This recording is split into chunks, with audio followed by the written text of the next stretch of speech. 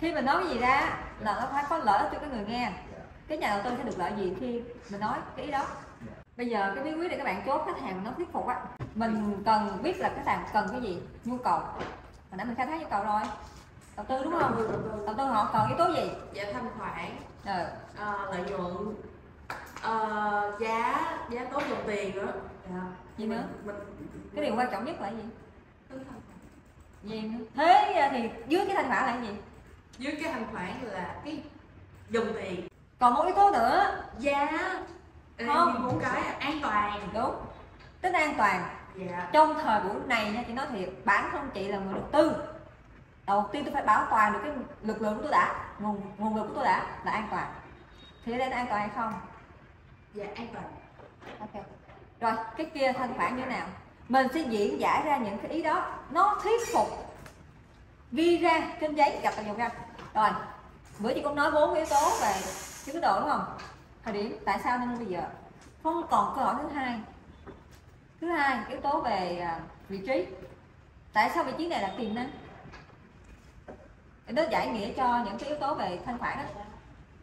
Bốn yếu tố là chị đang nói là yếu tố nào? Thứ nhất là thời điểm thứ hai vị trí thứ ba. Giá là cuối cùng. Hợp lý. Á, tất cả những yếu tố này chúng ta phải làm bật nó lên để khách hàng tập trung vào đó. Cái mà được thôi cái cơ hội này không có lần thứ hai và chỉ duy nhất lần này và khách hàng có thể mua cái dễ dàng. Khách hàng thích cái gì đó dễ dễ nha.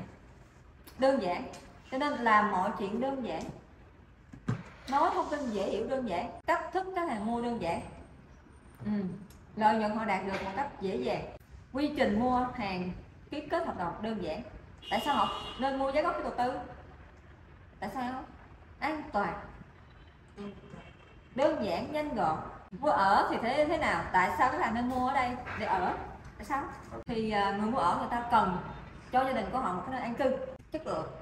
Giúp cho họ được an toàn nè, tiện ích nè, phát triển về mặt thể chất, tinh thần đầy đủ. Có một cái à, môi trường sống chất lượng sống tốt hơn. Thì cái những cái điều đó là cái cái mà họ muốn cái lợi ích của khách hàng khi mà khách hàng mua ở.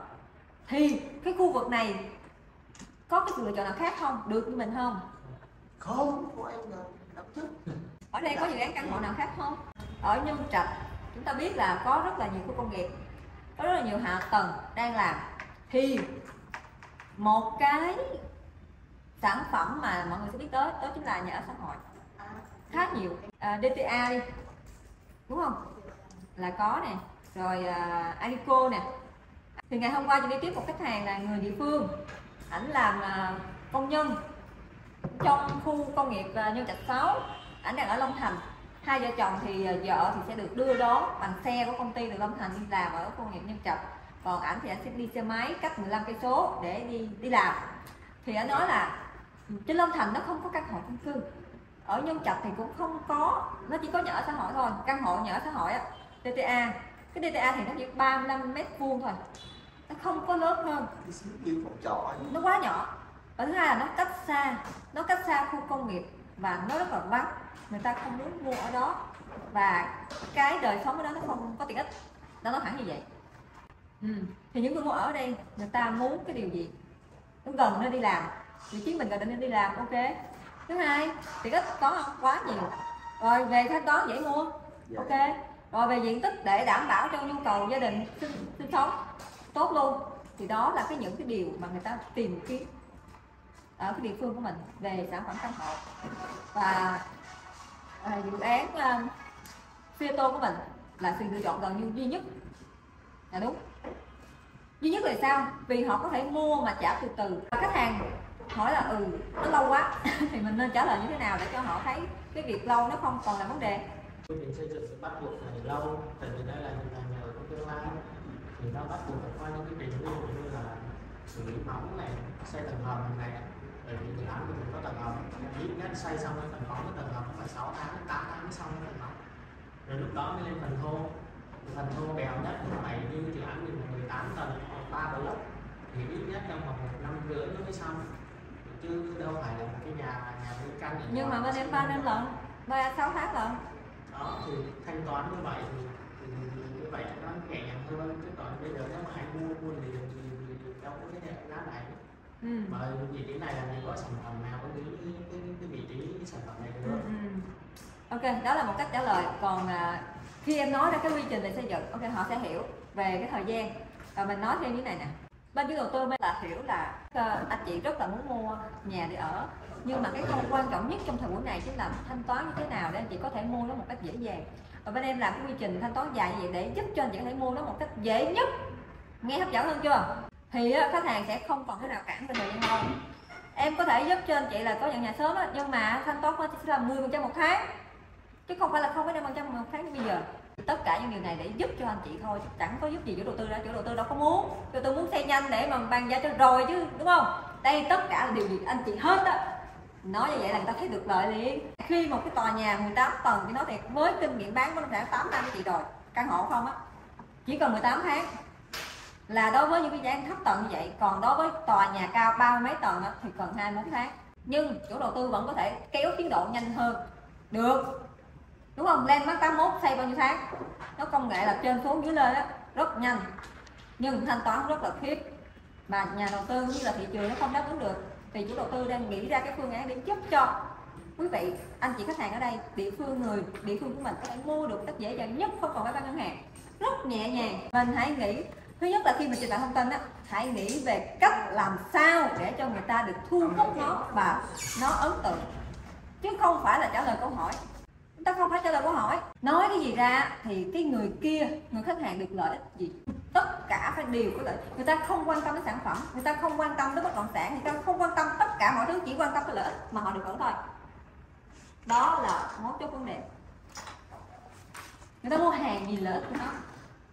Các bạn không cần chị, các bạn chỉ cần lợi ích mà chị đem lại, các bạn thôi nghĩ trên cái góc độ, nói bất kỳ điều gì ra người nghe, khách hàng được lợi ích gì? Bật lên cái lợi ích đó của họ để họ tập trung vào và họ được nhiều nhiều nhiều nhiều thì họ sẽ mua. Về sản phẩm và dự án á, anh chị em phải tự trả lời cho mình cái câu hỏi là tại sao tôi mua dự án này? Một cách rõ ràng, mạch lạc và tự tin, thuộc lòng. Cứ đụng phát và nói như cái máy. Yêu như vậy đó thì mình mới truyền tải được những cái nhiệt huyết, những cái tình yêu với cái sản phẩm mà khách hàng mới hiểu được. Chị nói thiệt, cái này là bài tập phải làm, bản thân chị cũng phải làm thôi các bạn? Tại sao chị làm được video? Vì chính cái video nó truyền tải được những cái thông điệp về sản phẩm. Một cái lời chào hàng không thể chối từ. Thì mình mới thấm được, mình mới nhớ được, mình thực hành rồi, mình mới nhớ, mình mới nói chuyện với khách hàng. Người ta mới nghe, người ta mới vô. Rồi, cái câu trả lời thứ hai cần phải trả lời là tại sao không bây giờ? Mình nói nãy giờ, mình thấy mình có thuyết phục được mình chưa? Mình nói ra có thuyết tích chưa? Mình nói rồi những cái căn cứ của mình đưa ra nó có rõ ràng bằng lạc số má hay không hay là mình nói chung chung? Mình không hiểu mình mình cứ nhớ ừ, điều lớn lắm nhiều lắm nhiều lắm đó thì đâu biết nhiêu đâu. Tất cả nó đều phải có số. Con số nó tính thuyết phục cao hơn rất nhiều. Rồi tại sao phải mua của mấy đứa? Có ba câu hỏi. Mấy uh, anh giám khảo của sang nhà chữ đô hỏi đó tại sao phải mua cái dự án này? Tại sao phải mua vào lúc này? Tại sao phải mua của em? Tại sao bác mua của em? Ừ, bạn kia đẹp gái hơn. Bạn kia chăm anh kỹ hơn. Tại sao anh phải mua của em? Một khách hàng người ta sẽ không tìm kiếm một người sale để làm việc đâu. Họ sẽ làm việc với vài người. Chị là một ví dụ. Khách hàng sẽ hỏi một vài bạn tư vấn viên xong họ sẽ lên mạng tìm kiếm và họ sẽ thấy chị? Họ sẽ gọi điện thoại cho chị hoặc là nhắn tin zalo cho chị để hỏi về sản phẩm. Và họ nói thẳng là có một vài bạn tư vấn cho anh rồi nhưng anh thấy em chuyên nghiệp hơn. Đó, khi chị đã hơn người ta rồi, thì các bạn có được như vậy hay không? Khi đứng chung để so sánh. Cân đo đong đếm, mình lợi thế hơn không? Mình chuyên nghiệp hơn không? Giá trị mình đủ nhiều để người ta thấy chưa? Đấy gọi là làm marketing marketing bản thân. Sẽ có trường hợp đó xảy ra thôi.